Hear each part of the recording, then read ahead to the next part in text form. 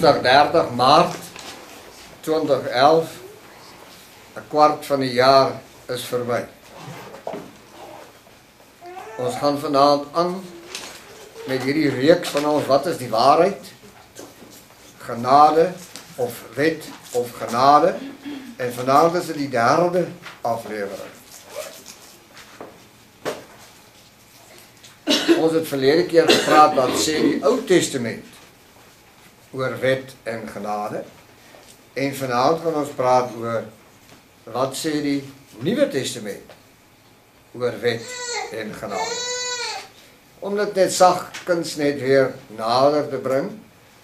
Daar word vir ons oor baie lang tyd reeds vertel dat by die paal het alles verander.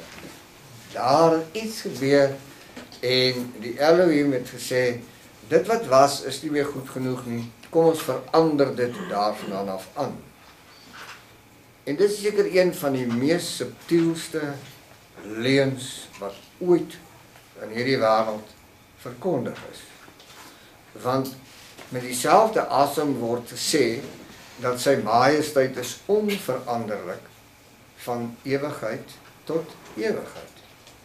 Nou waarom sou so iets dan nou aanhangig gemaak wees? Waarom is daar so iets in die wêreld ingestuur? En toe het hulle gesê, maar eintlik is ons nie meer onder die wet nie. En dis hoekom alles verander het. Omdat ons nie meer onder die wet is nie, het alles verander. Ons is nou onder die genade. En ons gaan kyk wat sê die Nuwe Testament oor wet en genade. Ons gaan kyk of die Nuwe Testament hoegenaamd verskil van die Ou Testament. En dit is baie baie kosbaar.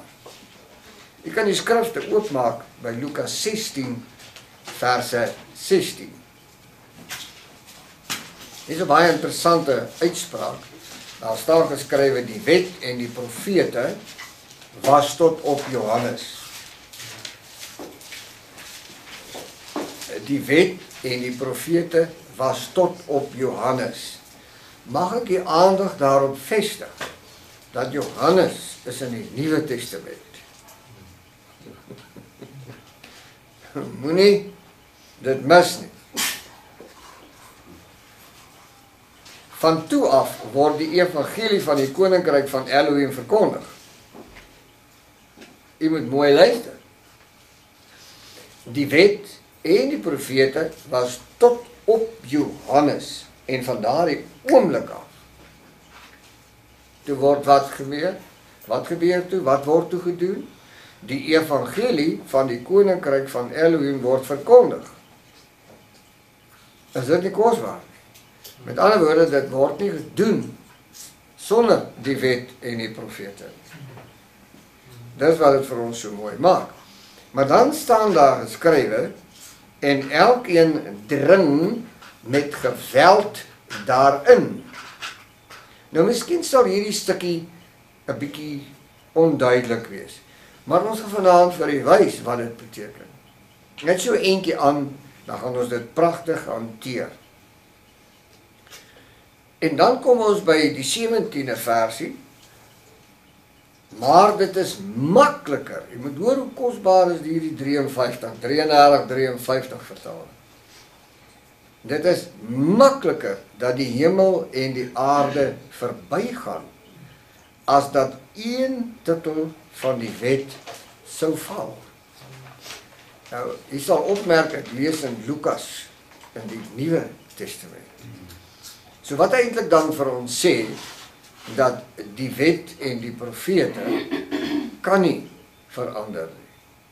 Dit sal 'n kwade dag wees as die profesie skielik weg is en die wet is weg. Die 10 gebooie is weg. Wat 'n verskrikking gaan dit nie veroorsaak.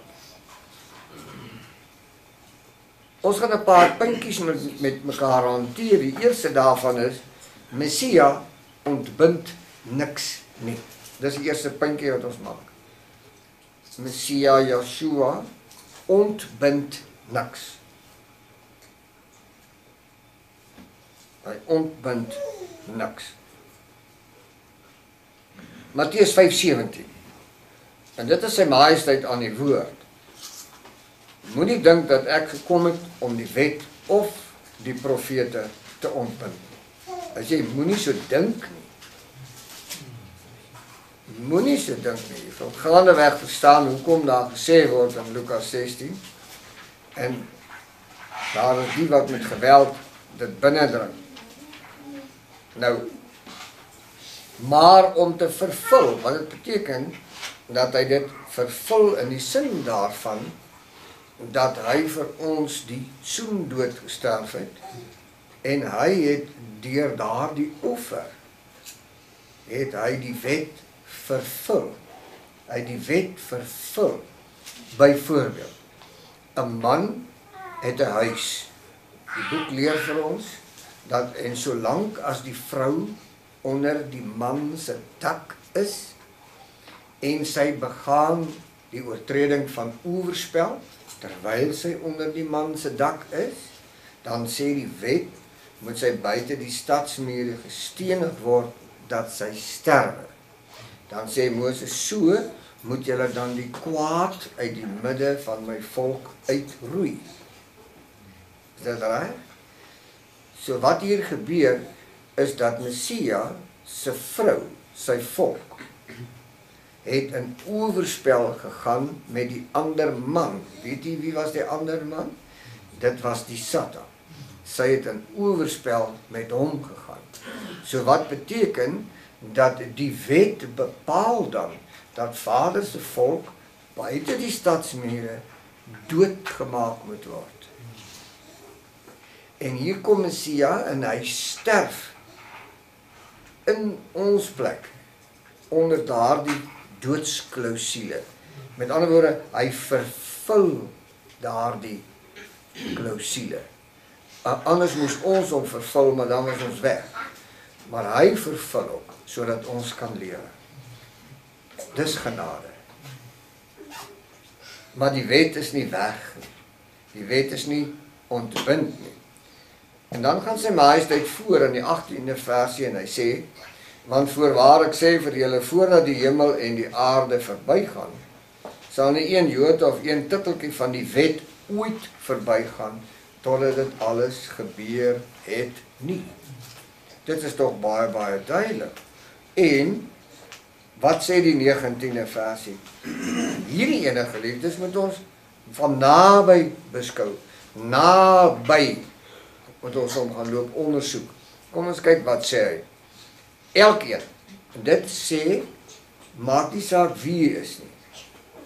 Of jy nou 'n predikant is en of jy 'n pikslanger is, Dit maak nou nie hier saak nie. Elkeen, die skrif sê elkeen.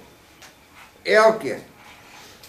Dus wat een van die minste van hierdie gebooie breek en die mense so leer sal die minste genoem word in die koninkryk van die hemele.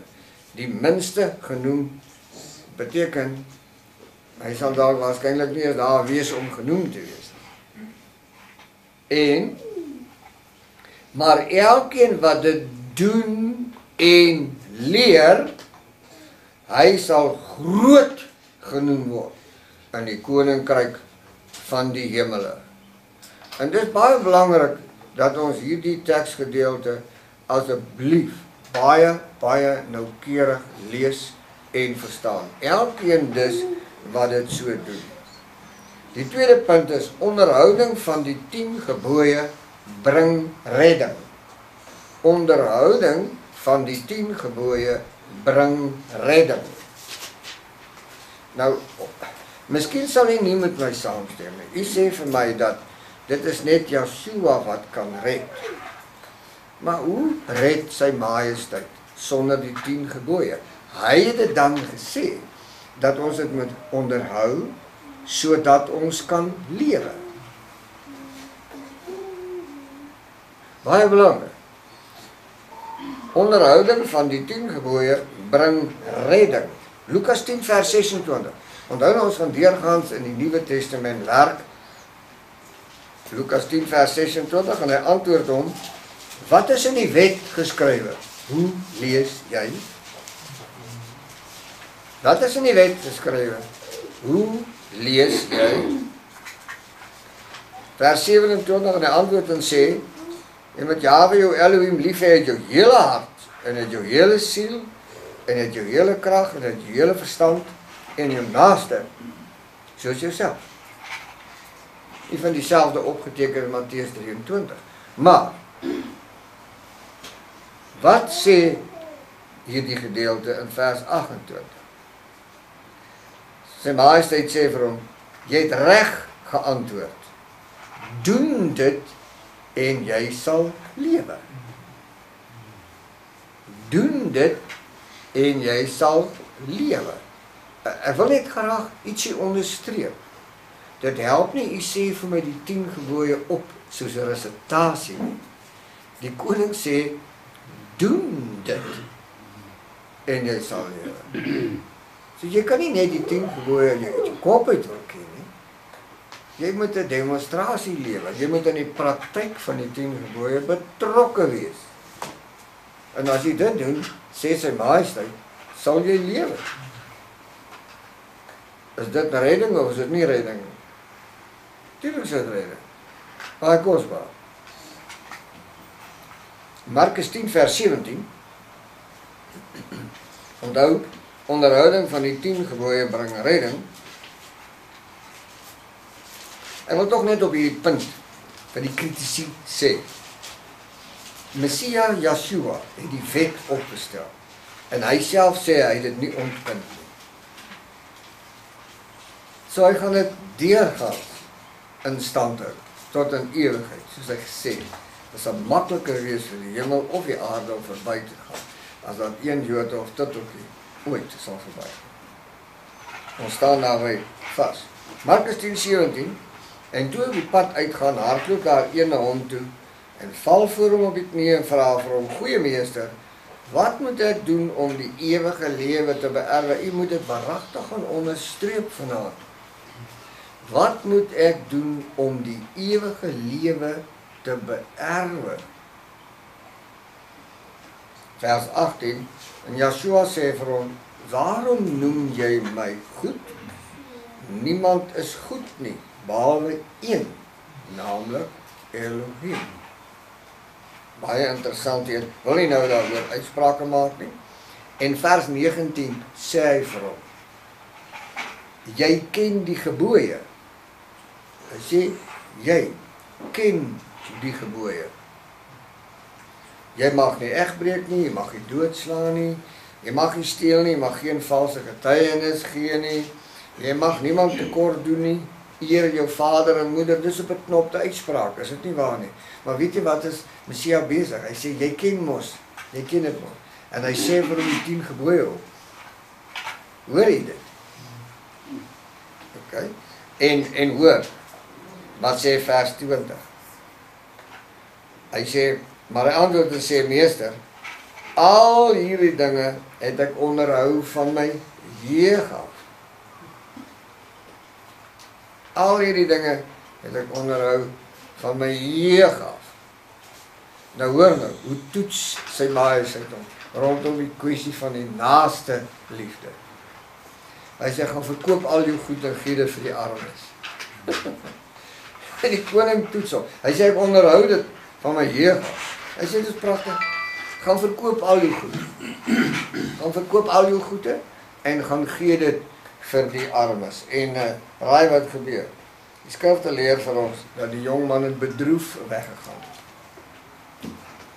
Toets gedoen. So die koning het nie. Weet jy wat ek gaan vanaand vir jou as hy sê is reg, die majesteit, ek sal dit doen. Dan sal hy vir hom gesê het nee, is nie nodig nie. Nou weet ek dat jy my liefhet. Die koning is so kosbaar regverdig, so wonderlik in sy barmhartigheid. Dierbaar. Dit is belangrik om daarop te let dat hierdie bogenoemde tekste wat ons hier gehanteer het, geliefdes, sy majesteit duidelik maak dat hy die 10 gebooie nooit tersyde gestel het nie. Nooit. En dis vir ons dierbaar, baie kosbaar. En Dit beteken dat redding sonder die 10 gebooie nie moontlik is.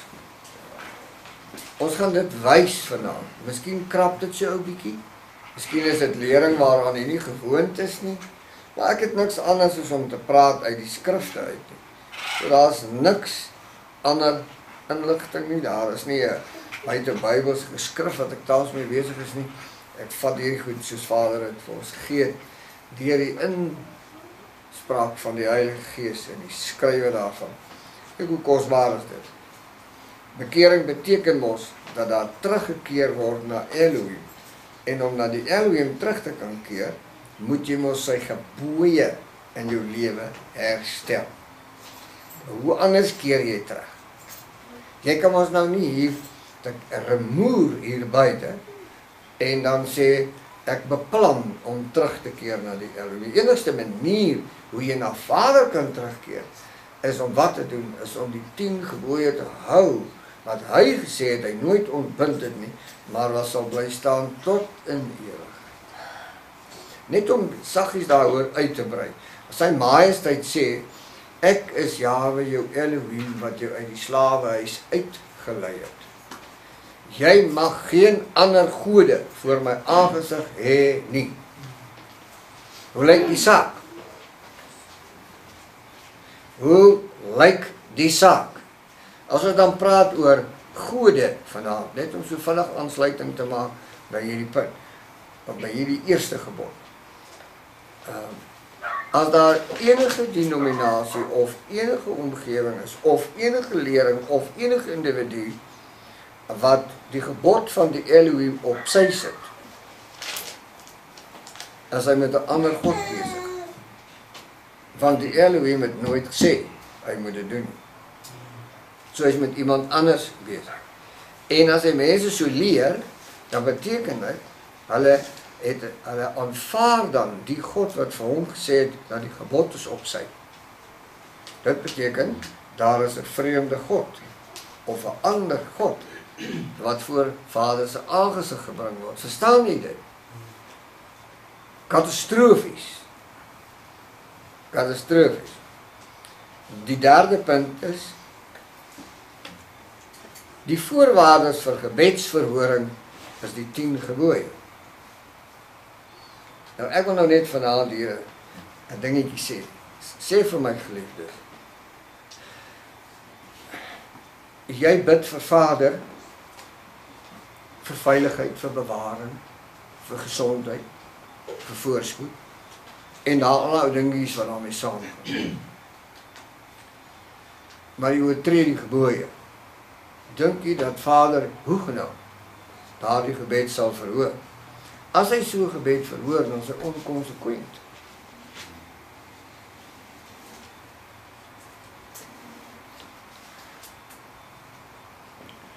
Ons kan nou uitwy op 'n later stadium. Voorwaardes vir gebedsverhoring is die 10 gebooie. Kom ons kyk wat sê Johannes 15 vers 7. Johannes 15:7 As julle in my bly en my woorde in julle sal julle vra net wat julle wil of wat julle wil hê en julle sal dit verkry. Maar daar's 'n voorwaarde. Die voorwaarde is as julle in my bly en my woorde in julle. Weet jy watter woorde word hier van gepraat? Die 10 magswoorde wat die 10 gebooie is. As julle in my bly en my woorde in julle, sal julle vra net wat julle wil hê en julle sal dit verkry. Kom ons kyk 'n bietjie wat sê klein Johannes, 1 Johannes 1 Johannes 3 vers 22, net dis kant Openbaring. 1 Johannes 3 vers 22. En wat ons ook al bid, ontvang ons van hom omdat ons sy gebooie bewaar en doen wat welgevallig is voor hom. Nou wat is so moeilik om hiervan te verstaan? Is dit nie kosbaar nie? Baie baie kosbaar. En kom ons kyk nou 'n bietjie na die vierde puntjie. Vader word liefgehê deur die onderhouding van die 10 gebooie. Ons maak 'n stelling vanaand. Jy kan nie Vader lief hê sonder die 10 gebooie nie. Hoe kan jy Vader loop lief hê en jy breek die 10 gebooie? Hoe? Dit is net nie moontlik nie. Daarom sê ons Vader word liefgehê deur die onderhouding, die praktiese uitlewing van die 10 gebooie. In Johannes 15 vers 10 wys dit vir ons so mooi uit. As julle my gebooie bewaar, sal julle in my liefde bly. As julle my gebooie bewaar, sal julle in my liefde bly. Net soos ek die gebooie van my Vader bewaar en in sy liefde bly. Daar's hy. En dis nou 'n pragtige plat boeretaal. Almal kan dit verstaan. Niks is nou moeilik hier. En ons word gedring en gedwing om 'n 'n reeks te begin wat uit die aard van die saak uit 10 DVD's sal bestaan. En ek sien dit is baie noodsaaklik dat dit in die veld moet kom. Want mense het 'n totale verkeerde persepsie van die 10 gebooie. En ons gaan elke gebod afsonderlik hanteer. Elkeenetjie, al 10 van hulle.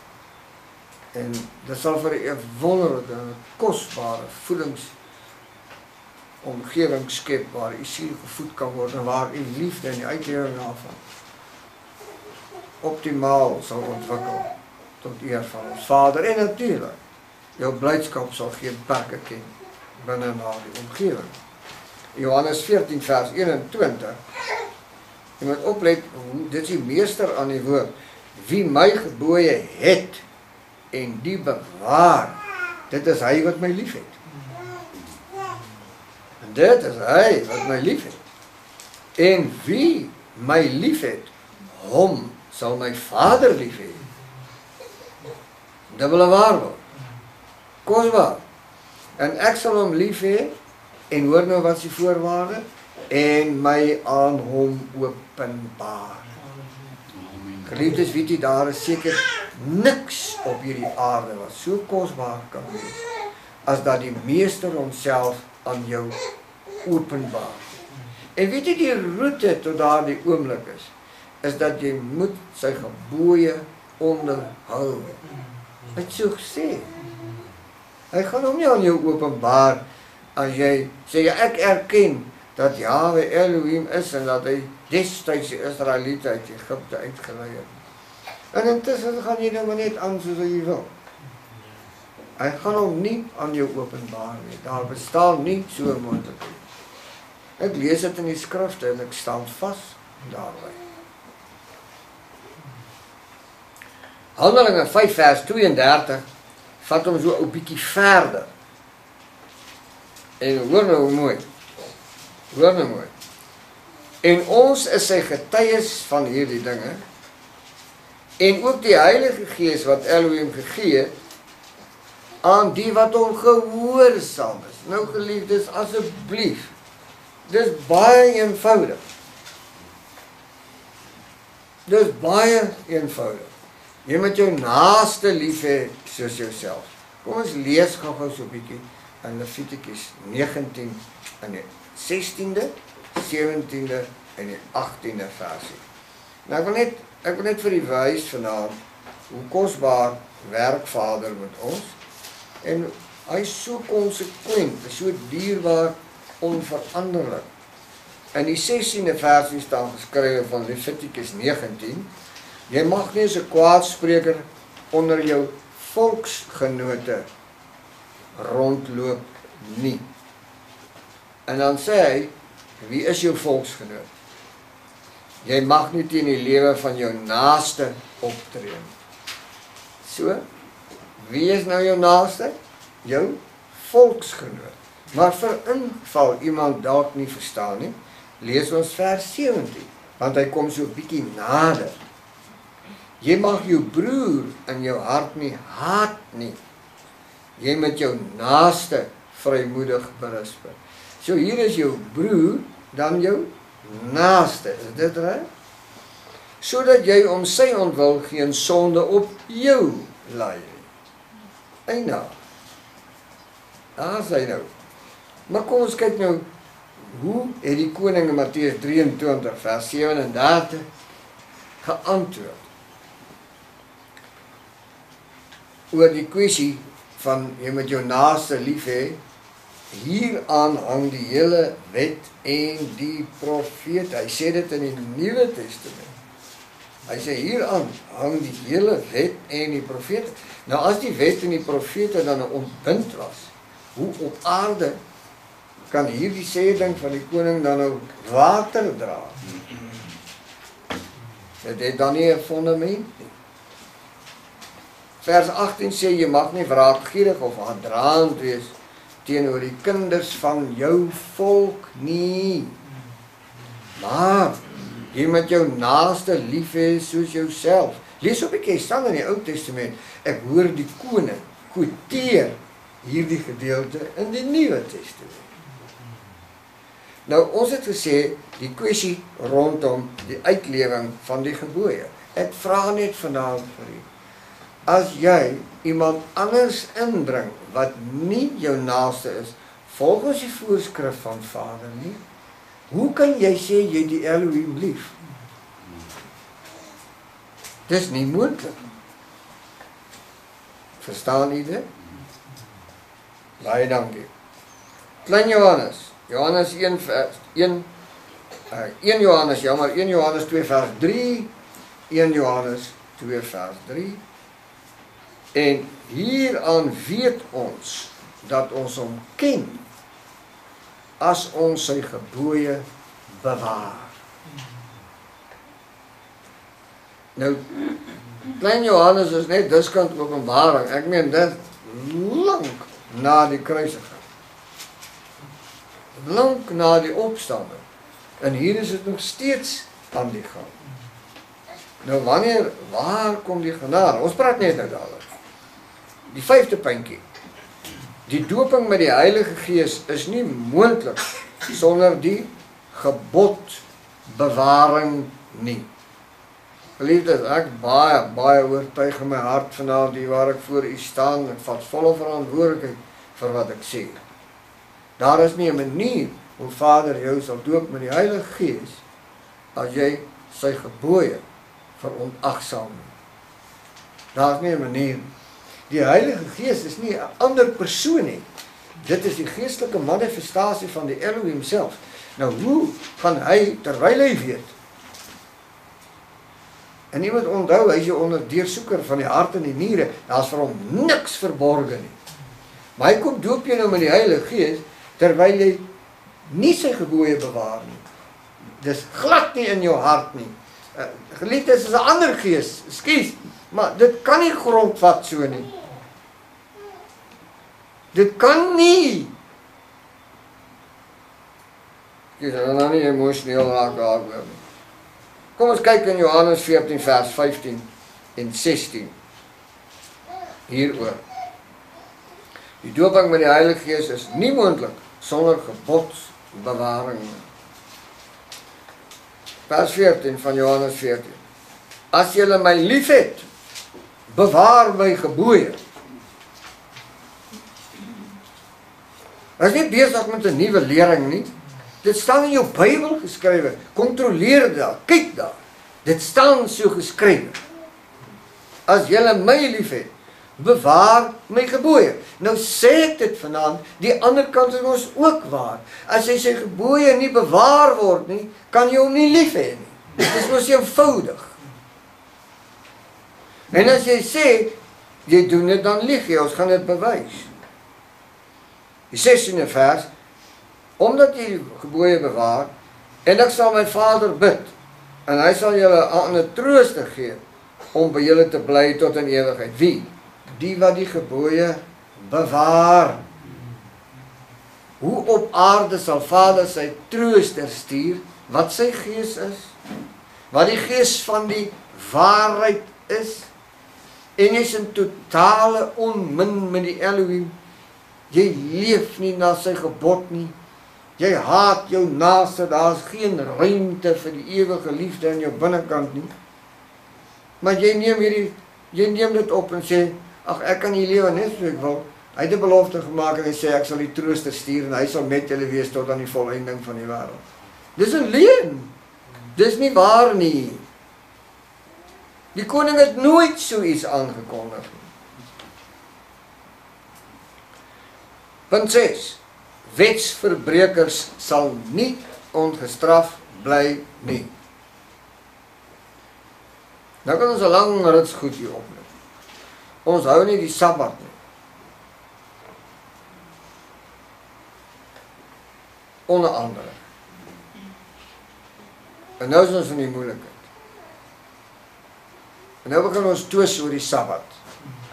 Is dit nou Saterdag of Sondag of Maandag of Dinsdag? Nee. Die koning het klaar gesê wanneer is dit? En al wat ons moet doen is, ons gaan kyk wat dit hy gesê het. En dan doen ons hom. En as dit Woensdag is, is dit Woensdag. En dan kan die hele plek hier buite tot niet gaan. Wat maak dit saak? Ek gaan vir my sê dis nie haalbaar nie. Dan gaan ek vir u sê ons dan swakker as die moslems. Die moslems sluit hulle sluit hom toe. Ek het dit al voorheen gesê. Vrydag middag 12:00 dan sluit hulle die plek toe. Dan staan die boervolk voor die deur. Hy wag dat Ismael oopsluit, dat hy 'n bagen kan koop. Maar Ismael is besig om te bid. Hy los die hele wêreld. Maar ons, die vorste en die vorstinne van die Elohim, ons is nie by hierdie plek nie. Dit is 'n vreeslike plek waar ons aangekom het. Wesverbeke sal nie ongestraf bly nie. Matteus 7, baie bekende hoofstuk, almal ken hom uit die kop uit dink ek. En in Matteus 7:23 praat tot die hart van elkeen wat wat hoor. En dan sal ek aan hulle sê, ek het julle nooit geken nie. Gaan weg van my, julle wat die ongeregtigheid werk. En weet jy, die nuwe vertaling skryf hom anders. Julle wat die wet verbreek het. Gaan kyk 'n bietjie in die nuwe vertaling. Hy daar korrek vertaal uit die Grieks uit, hoor. In die Grieks in hierdie teks is staan ongeregtigheid nie geskrywe nie. Daar staan daar staan die julle wat die wet verbreek het. Jy kan 'n kry 'n nuwe vertaling en kontroleer jy maar.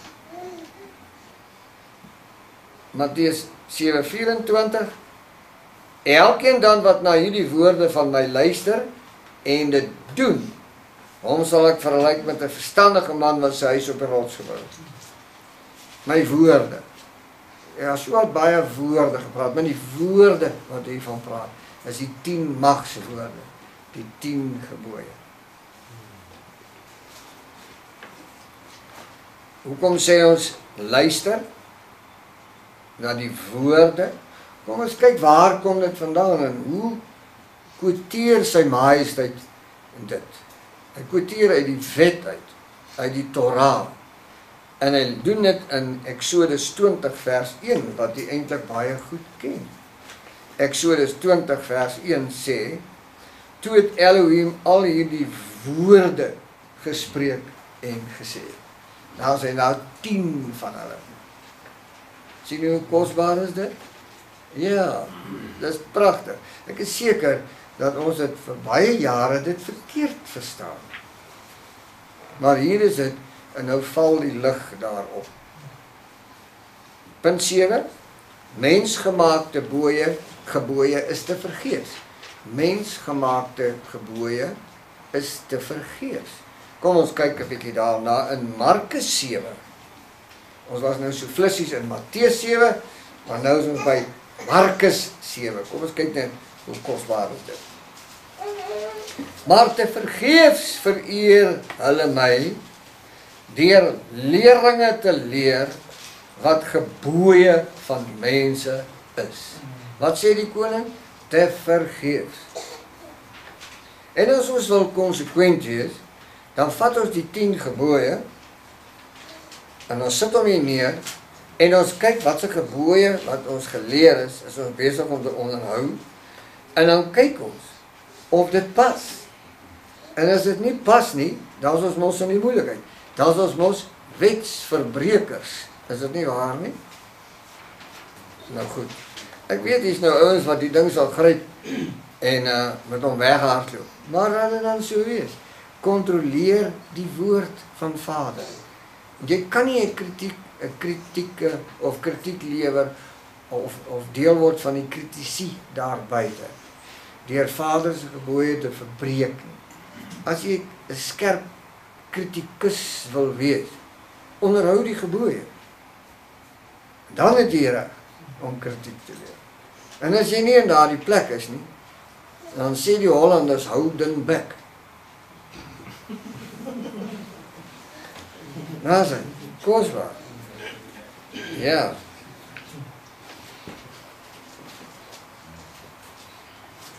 Vers 8 van Markus 7 sê want terwyl hulle die gebod van Elohim nalat. Daar kom hy nou. Terwyl julle die gebod van Elohim nalat hou julle aan die oorlewering van mense vas. Die wassery van kanne en bekers en ander dergelike dinge van dieselfde aard doen julle baie. Hoor hom. Vers 9 en hy sê vir hulle: Julle verstaan dit goed om die gebod van Elohim op sy te sit en so julle oorlewering te onderhou. En ons kan lekker diep in hierdie ene insak, maar nou nie vanaand nodig nie. U is nou al lank al op die pad en u verstaan die diepte hiervan. So moet dit asseblief nie mis nie. Dis die 10de versie. En die koning quoteer weer uit die Torah. Hy sê die volgende: Want Moses het gesê Moses het nie so gesê nie. Die Elohim het die woorde gespreek.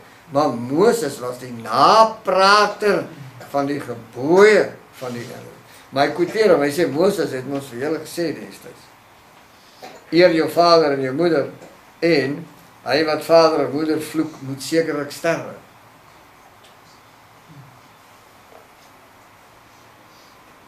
Wat sê? Julle sit my gebod op sy. Julle hou in die oorleweringe van.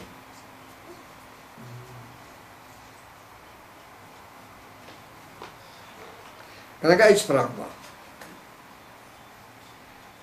Ja net 'n paar ouens gaan sneuwel omdat hulle pappa en mamma gevloek het. En dis die einde van die storie. Nooit weer. Nou hoor ek die kinders rang die ouers aan. Hulle kla hulle aan, sleep hulle voor die hof vir aanranding. Hoe bid ek dat die toorn van die Elohim hierdie plek reinig.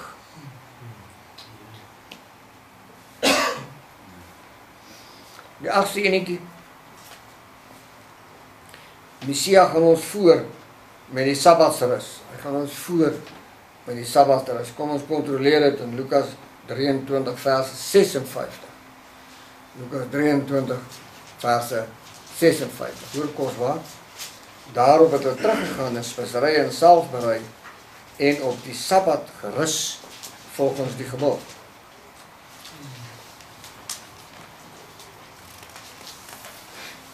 kort puntjie uh met 'n vreeslike lyf. Ons kan hom later mooi hanteer. Maar nie vanaand nie. Punt 9, want dis nie waarmee ons besig is om die Sabbat te ontleed nie. Ons is besig om te kyk wat sê die Nuwe Testament oor die gebod. Moenie vergeet nie. Daar sê Messia bevestig die gebooie na sy opstanding. Dis nou baie interessant. As alles dan by die paal verander het, hoekom bevestig sy majesteit die gebooie na die opstanding? So erns is 'n groot fout. So ons het mense gebooie hier geleer en dit geleef vir etlike jare dalk vir geslagte lank. Maar hoe wonderlik is dat die vernuwing nie op so 'n sagte wyse na ons toe kom nie. So op 'n kosbare, kinderlike manier. En dan raak dit aan die punt van jou hart en sê wat het ons gedoen? Hoe op aarde het ons by hierdie plek aangekom? Maar ons moenie daaroor sit en top nie. Sê bietjie haleluja. Ons is by die plek van vernuwing. Ons is by die plek van herstel. Hoe kosbaar is dit net nie. Daniel het mos gesê aan die einde van die dae sal dit wees waar in die kennis sal vermeerder Daniel 12. Messia bevestig gebooie na sy opstanding. Kom ons kyk 'n bietjie daar in Openbaring 12 in die 17de versie. Dit is nou mos lank na die kruisiging. Waar alles nou kwansies verander het. Nou kom ons kontroleer dit in die skrifte.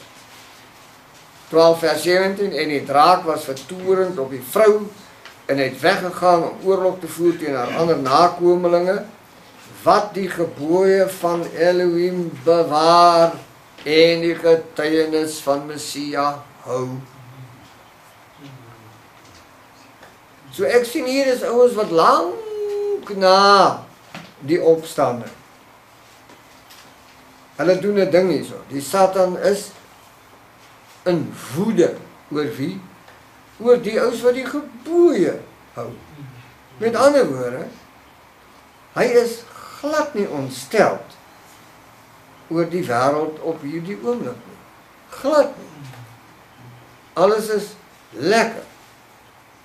Hy sleep sy sofa daar in die kerk voor die kansel en lê heerlik in slaap daar want alles is in plek. Ek weet hulle gaan nie hiervan hou nie. Maar sê vir my, as jy die gebooie van die Elohim nie hou nie, wie is jy ter wille? Wie is jy ter wille? Moenie vir my vies wees nie. Dis nie my vinger wat op jou druk nie. Dis die Elohim se vinger wat op jou druk. Dieselfde Openbaringsboek, Openbaring 14 vers 12 Kom ons lees dit lekker met mekaar saamkom. Blaai jy 'n bietjie in die skrifte. Dit is so lekker. Hier kom die leidsaamheid van die heiliges te pas. Hier kom die leidsaamheid van die heiliges te pas.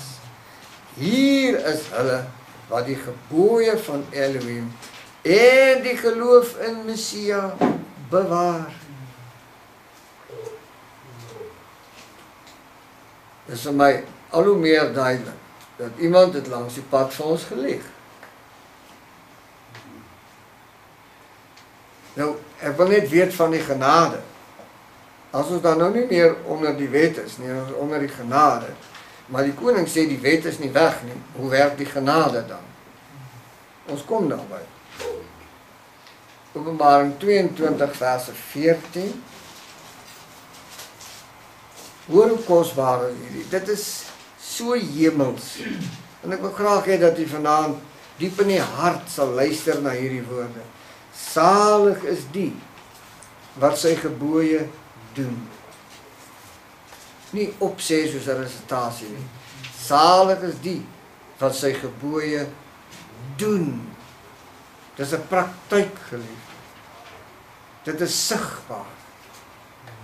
Salig is hulle wat sy gebooie doen sodat hulle reg kan hê op die boom van die lewe en ingaan deur die poorte van die stad. Nou hier is dit 'n groot groot krisis. Ons lees in Openbaring 21 van die nuwe stad Jerusalem. Dit is die herstelde volk van Vader. En hy 12 poorte.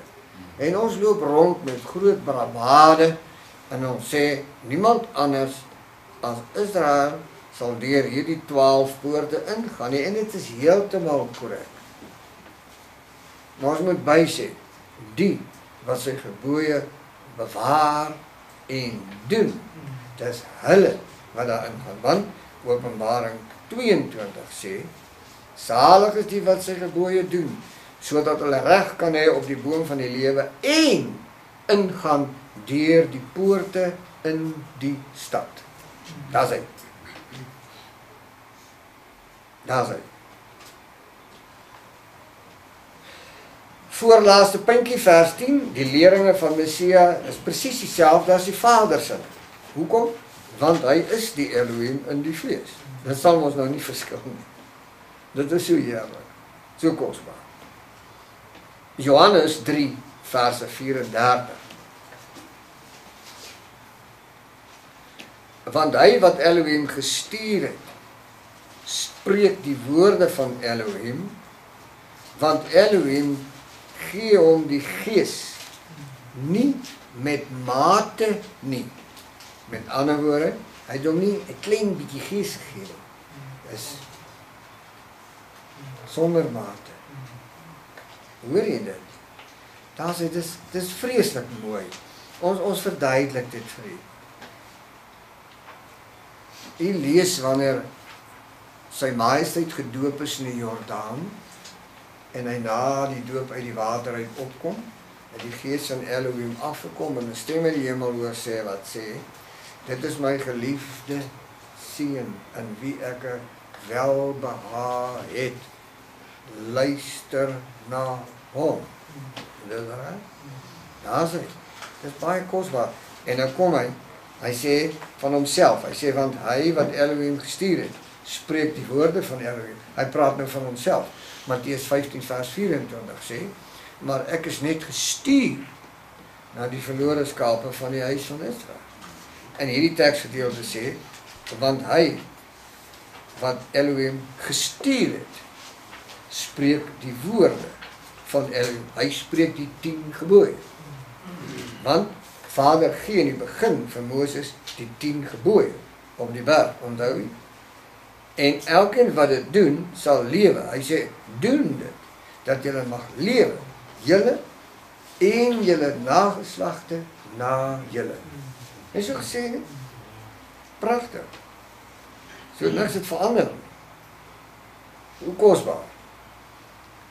Johannes 7 verse 16. Ag, bly maar so 'n bietjie rond. Johannes 6 7 verse 16. Hoor hoe kosbaar. Yeshua antwoord hulle en sê: "My leer is nie myne nie, maar van hom wat my gestuur het."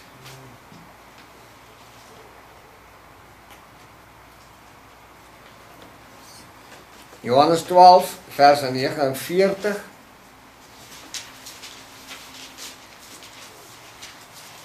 Onthou wat is ons puntjie, die leringe van Messias dieselfde as Vader se.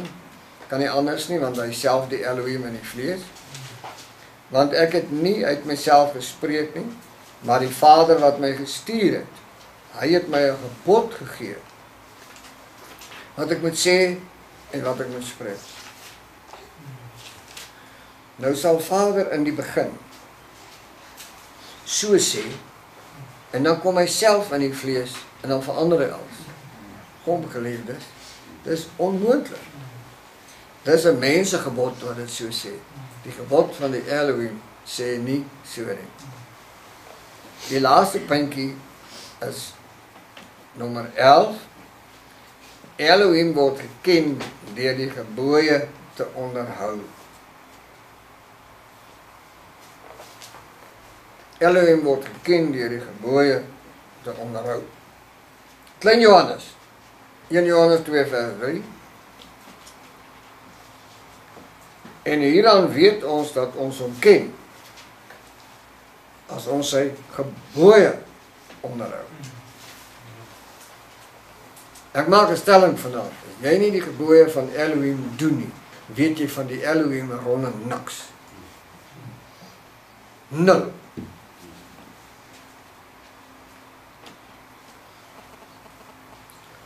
Dis die vierde versie. Ons sluit daarmee af. Hy wat sê ek ken hom en sy gebooie nie bewaar nie, is 'n leienaar en in hom is nie waarheid nie. Daar is die moeilik. Nou wat van die genade? Ek verduidelik dit vir u so. Wanneer jy 'n spoedoortreding begaan, dan stuur hulle jou 'n dagvaardige Dan sê hulle jy het nou soveel tyd waarin jy die boete of die skulderkenningsboete kan betaal. Ek moenie my so aankyk nie, almal van julle het al 'n spoedoortreding gehad. En uh ons weet nou al wat is die inskrywings op so 'n ding. Maar weet jy wat? Dis die wet wat so praat. Die wet sê jy oortree. En dan is daar 'n skulderkenning. Is dit nie waar nie? En wanneer ons die skulderkenning gaan betaal, dan beteken dit ons is nie meer onder die wet nie. Ons is nou onder die skulderkenning. Ons die skulderkenning het ons onder daardie wet uitgehaal. Maar dit beteken as jy weer die spoed oortree, selfe storie van vooraf. Die feit dat jy nou die skulderkenning betaal het, maak mos nou nie dat jy nie weer die spoed gaan oortree nie. Jy kan kies om op pensioen te gaan langs die pad en jou motor se spoedmeter te vervang met 'n almanak. Dan gaan jy nooit 'n spoedoortreding hê in elk geval nie. Maar die feit dat jy die skulderkenning betaal het, vrywaar jou nie van die wet nie. Is dit korrek? Dankie. Hoor nou, Messia het vir ons 'n ewige verlossing teweeggebring. Ons kan dit of aanneem en daarin bly of ons kan buite dit gaan. Nou hoor nou mooi. Sy bloedoffer het ons onder die wet uitgehaal. Sy bloedoffer.